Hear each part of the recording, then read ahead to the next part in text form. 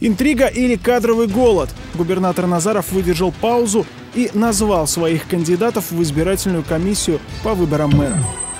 Куда не ступит нога человека? Почему мечи не убирают за своими питомцами и кто ответит за испорченные газоны? Память по расписанию. Вечный огонь погас на его содержание. Не хватает денег. Чиновники заявили, что гореть он будет 17 дней в году. Смотрите «Омск здесь» в понедельник в 7 утра и в 12.30.